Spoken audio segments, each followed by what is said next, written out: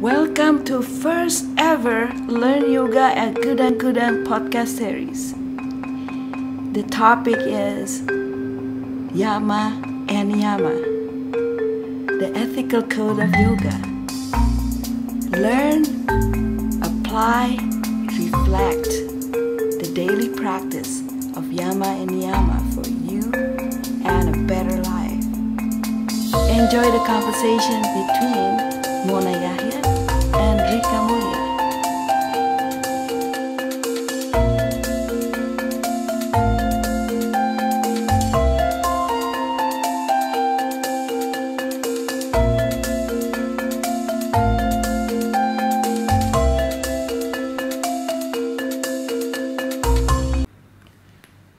Selamat datang di episode kedua dari Yama Niyama Podcast Learn Yoga at Gudang Gudang. Saya Mona Yahya, Kepala Sekolah dari LYGG dan saya bersama dengan Rika, salah seorang dari faculty kami. Di episode pertama, saya memberikan sedikit konteks tentang apa itu Yama dan Niyama Kemudian kenapa Yama dan Yama ini adalah hal yang berguna untuk kita. Eh, saya ulang lagi dong ya. Jadi, Yama dan Yama adalah the first two of eight limbs of yoga berdasarkan Yoga Sutra Patanjali. Yama itu berkaitan dengan kode etik kita untuk berinteraksi dengan sesama Sedangkan niyama adalah how disciplined that we are to ourselves. Nah, keduanya ini adalah fundamentals, foundation, and essentials to our quest to find a happy and joyous life.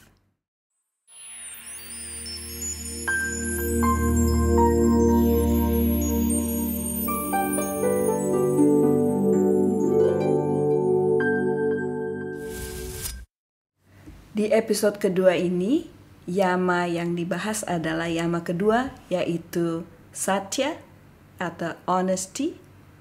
Sedangkan niyama kedua adalah santosa.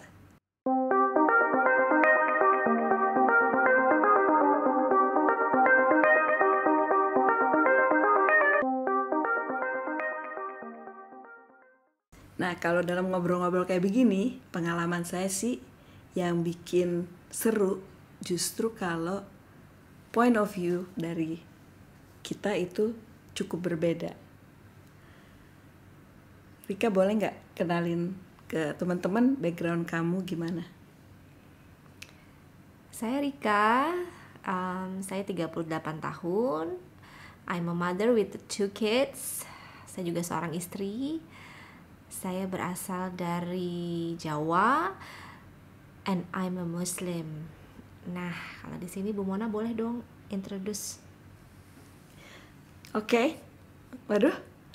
Umur ya, umur 57. ya. Lalu saya I'm a mom of two, mom of two two dogs, uh, cute dogs, and uh, so I am, you know, I'm not married, and uh, background aku aku orang Padang, uh, faith aku Buddhist. Okay. Tapi kita punya satu kesamaan ya Bu Mon ya. Apa itu? Kita sama-sama interest banget tentang yoga ya Bu. Banget, banget, banget, banget. Let's talk about Satya. Satya is translated into honesty atau jujur. Nah, nggak dibilang Satya artinya adalah tidak berbohong. Boleh nanya nggak nih? Kamu pernah dibohongin nggak? Pernah dong. pernah ya? Right. Rasanya gimana kalau dibohongin? Sakit ya, Bu.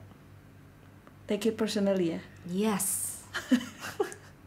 ya kan? Ya. Lu gak sayang sama gue lah, Oh, makanya oh. lu bohong sama gue gitu kan. Tapi kita sendiri pernah nggak ada di situasi jadi nggak bisa ngomong yang sebenarnya kepada orang yang kita sayangin? Pernah. Lucu ya? Karena kita tahu kenapa kita mengatakan apa nggak bisa ngomong sejujurnya. Jujur, sedangkan kalau misalnya kita digituin kita kayaknya seolah udah tahu pasti niatnya kayak gimana. Lucu ya? Iya betul. Nah, oke, karena ini sangat dalam, eh, mungkin kita ngundang eh, rekan-rekan yang eh, murid-murid LYGG untuk coba ngelihat itu untuk pribadi. Tapi gini, gimana kalau kita bawa ini ke soal satya ini ke praktis yoga? Aku mau cerita, oke? Jadi, eh, as a practitioner, um, I was like I am more towards uh, flexible, uh, not strong, and uh, pertama-tama saya latihan yoga, saya sangat amazed. Ternyata, oh saya bisa split, oh saya bisa ini, saya bisa pokoknya hip hip opener uh, no problem for me. Nah tapi uh, somehow eh, waktu saya misalnya melakukan hip opener itu saya pikir itu kayak misalnya open ya open sampai sejauh-jauhnya.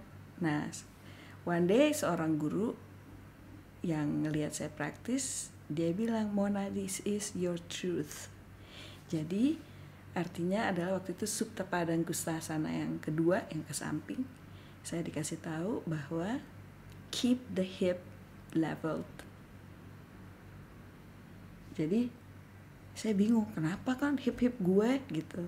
Ternyata saya belajari bahwa there's so many things that is helpful when I come from the place of honesty. Honest kepada saya karena terus terang saya kan bangga dong kaki ke kanan semua gitu kan. Buka gitu ya. Nggak taunya nggak ada juaranya. And then so I learn how to back off and uh, melakukan itu. But it's a it's it's not an easy process and uh, it takes a good yoga teacher to remind me even though at that time I didn't accept uh, what she said gitu. Oke. nah kamu sendiri sebagai guru gimana? Kalau dari pengalaman aku sebagai guru ini kan aku mengajar kelas intro ya bu untuk para pemula nih. Kemudian em, ketika saya sedang mengajar di kelas dari murid ada yang levelnya mungkin sudah tidak intro sudah di sudah agak level up ya. Karena dilihat dari di observe di eh, dengan murid-murid yang lain dia sudah lebih dominan untuk pose lebih bagus ya. Kemudian em, tapi tujuan saya mengajar intro adalah kembali lagi untuk kepada para pemula tersebut ya bu.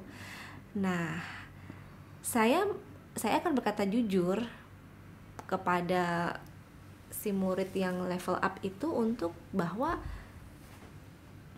saya akan menyarankan sih se- sebenarnya ada kelas yang cocok untuk dia yang di level yang lebih dari intro ini. Wow. Gitu. Jadi supaya si murid itu juga merasa selain dia puas tidak merasa wah ini kelasnya kok em, low banget ya gitu. Gue gue nggak gue kurang nih di sini nih ngerasa kayak pengen Hmm. Pengen gue lebih lagi gitu jadi aku saranin dia aku jujur sama dia untuk ngomong "Eh, mungkin bisa coba untuk kelas yang levelnya lebih tinggi lagi dari intro gitu Nah, kalau misalnya kondisinya kayak gitu, eh, kemarin itu kamu jadi kehilangan murid nggak jadinya? Iya, kehilangan murid.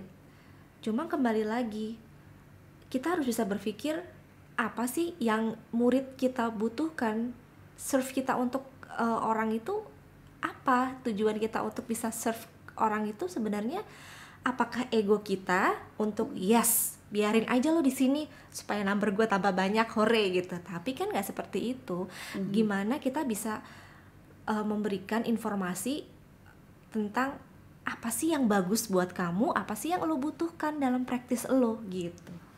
Yang satu lo, yang satu kamu. Kamu dan lo ya. Jadi gimana nih? That's so.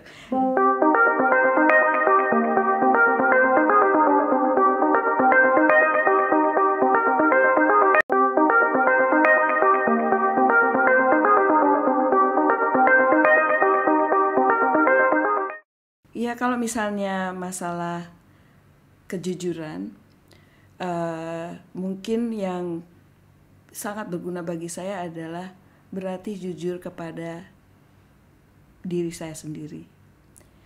Karena layer dari kejujuran itu banyak sekali.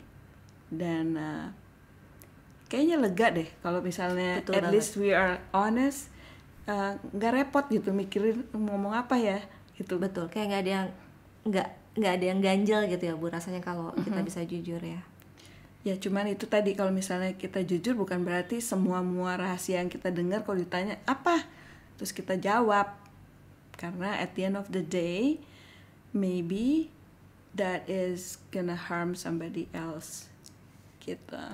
Yap. Ini dia berkaitan ya. Next is we're talking about niyama yaitu santosa. Saya ngeliat ada hubungannya loh. Jadi santosa itu adalah konten. Eh, cukup aja. yes Ya, tadi itu kan kalau saya ngerasa cukup aja latihan dengan apa kebaikan buat saya, ya saya nggak perlu buka-buka hip terlalu ke kanan kebanyakan. Uh, is I feel content dengan I feel something for my body, right? Yap. Dan tadi kamu juga uh, you feel content dengan jumlah kelas yang atau jumlah students yang seperti ini. Tapi there is nothing melarang bahwa we also promote our, ourselves karena kan mungkin Rika juga ngajar di kelas lainnya yes ya seperti itu. Nah ngomong-ngomong soal contentment, right? Uh, some people, a lot of people have a difficult time right now untuk uh, kelas, uh, kelasnya jumlahnya banyak. Nah misalnya nih Rika dapat penawaran ngajar sini, ngajar situ sehingga kayak penuh gitu ya boleh dikatakan laku lah gitu. Aduh, oke So, amin kan? amin Nah, tapi gimana nih? Em, kira-kira misalnya kalau ngajar sampai 20 kelas se- seminggu gimana? Hmm. Oke. Um, numbers of class, kemudian jadwal ngajar, jadwal self practice, jadwal kegiatan di rumah. Wow. Itu salah satu kegiatan yang berkesinambungan satu sama lain. Nggak menutup kemungkinan banyak kelas, banyak income datang, tapi mungkin di rumah keteteran ya Hmm. banyak kelas income datang nggak self practice kita juga knowledge-nya kurang. Rasa di badan juga nggak enak. Mhm. nah apalagi saya seorang ibu ya ngurus rumah. Nah di sini tentunya kita harus bisa balancing waktu nih bu.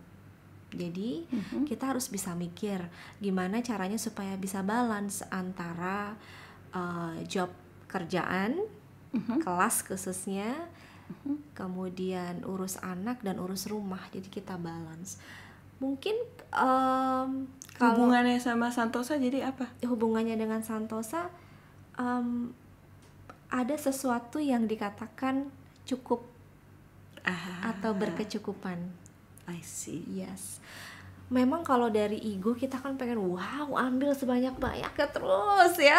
Kayaknya gue familiar tuh. Sama itu. gitu. Hmm. tapi em, harus bisa lihat i- dampaknya juga gitu loh ke kitanya ke self ke, ke diri sendirinya.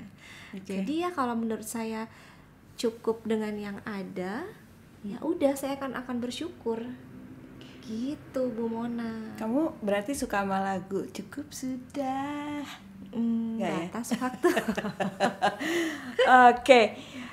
Oh, makasih banget ya, Rika. I think uh, so untuk rekan-rekan uh, yang murid dari LYGG, one of the things that become that we suggest to be your point of reflection and contemplation. Adalah untuk melihat melihat dari apa yang saat ini uh, jelas. Misalnya if you're not balanced if you're driven if you're pushed by uh, sesuatu apakah itu target apakah itu apa apa apa pun itu. Um, so how do you find the point where you feel it's enough gitu. Karena saya ngeliat ada hubungan itu if we don't feel enough or we feel like we we have less it's gonna drive us to be in the point of not honest. Yes. We're not honest to our own ability. Mhm. we're not honest on our motive.